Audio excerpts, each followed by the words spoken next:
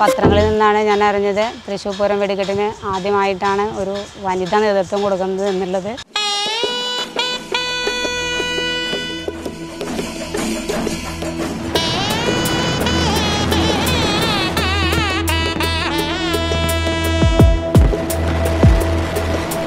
ഒരു മത്സരം തന്നെയാണ് നടക്കുന്നത് പൂരപ്പറമ്പിൽ അതിപ്പോൾ ഏത് കാര്യത്തിലായാലും കൊടയുടെ കാര്യത്തിലായാലും മേളത്തിന്റെ കാര്യത്തിലായാലും വെടിക്കെട്ടിന്റെ കാര്യത്തിലായാലും.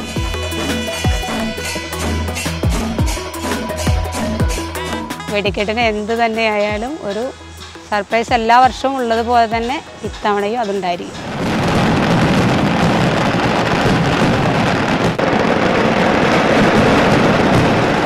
ഇത്തവണത്തെ തൃശ്ശൂർ പൂരം തിരുമ്പാടി വെടിക്കെട്ടിന് വേണ്ടി വെടിക്കെട്ട് ഒരുക്കാനുള്ള ഒരു അവസരം ഭാഗ്യം കൈവന്ന ഒരു വ്യക്തിയാണ് ഞാൻ.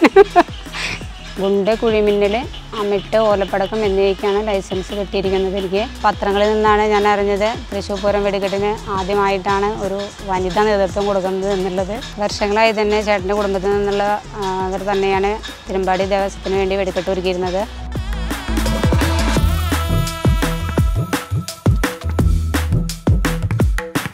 ഞങ്ങളുടെ പണിക്കാരൊക്കെ തന്നെ ഈ മേഖലയിലായതുകൊണ്ട് അത് ഒരു സമയത്ത് ഇല്ലാതായത് ഇല്ലാതായത് മൂലം അവർക്കൊക്കെ അവരുടെ തൊഴിൽ നഷ്ടപ്പെട്ടു. അപ്പോൾ അവർക്ക് അവരുടേതായ വീടുകൾ കഴിയണം എന്നുള്ളത് കൊണ്ട് തന്നെ വളരെ വളരെയധികം ബുദ്ധിമുട്ടിയാണ് അവർ ജീവിച്ചത്. ഇപ്പോൾ ലൈസൻസ് കിട്ടിയപ്പോൾ അവർക്ക് സന്തോഷമായി എനിക്കും സന്തോഷമായി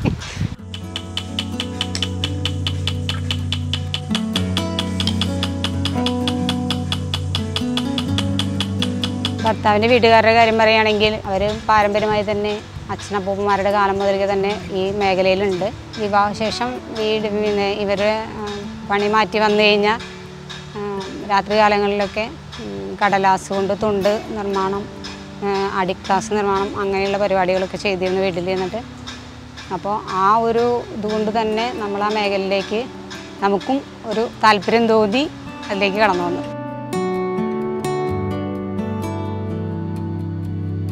ഈ വെടിക്കെട്ട് വരയിലേക്ക് വന്നതിന് ശേഷം പടക്കം കെട്ടുക പിന്നെ ഇവരുടെ കൂടെ എല്ലാ പണികൾക്കും നമ്മൾ സഹായിക്കാൻ കൂടും. അത് മാത്രമല്ല ഇപ്പോൾ ഒരു ഇരുപതോളം പണിക്കാരുണ്ട്.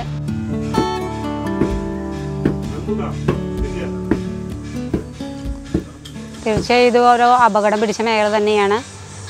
ഞങ്ങളുടെ കുടുംബത്തിലും അതിന്റെ ഒരു സംഭവവികാസം ഉണ്ടായിട്ടുണ്ട്. ചേട്ടൻ വെടിക്കെട്ട് അപകടത്തിൽ തൃശ്ശൂർ തിരുമ്പാടിയുടെ വെടിക്കെട്ട് സാമ്പിളിന്റെ അന്ന് അമുത്ത് പൊട്ടി ആൾ പരിക്കുകയുണ്ടായി അപ്പോൾ ആ ഒരു ഇത് വിട്ടുമാ ഞങ്ങളുടെ മനസ്സിൽ ഇന്നും ഉണ്ട്.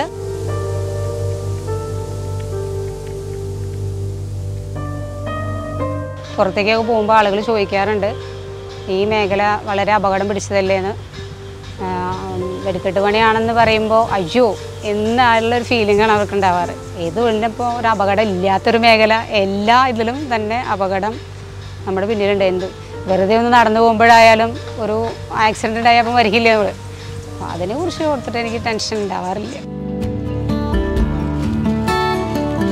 തൃശ്ശൂർ പൂരം എന്ന് പറയുന്നത് തന്നെ ഒരു മത്സരം എടുക്കട്ടല്ലേ രണ്ട് വിഭാഗങ്ങളിലും പാറമേക്കാവിന്റെ ആയാലും തിരുവമ്പാടിയുടെ ആയാലും ഒരു മത്സരം തന്നെയാണ് നടക്കുന്നത് പൂരപ്പറമ്പിൽ അതിപ്പോൾ ഏത് കാര്യത്തിലായാലും കൊടയുടെ കാര്യത്തിലായാലും മേളത്തിന്റെ കാര്യത്തിലായാലും വെടിക്കെട്ടിന്റെ കാര്യത്തിലായാലും. അപ്പോൾ വെടിക്കെട്ടിന് എന്ത് തന്നെയായാലും ഒരു സർപ്രൈസ് എല്ലാ വർഷവും ഉള്ളതുപോലെ തന്നെ ഇത്തവണയും അതുണ്ടായിരിക്കും.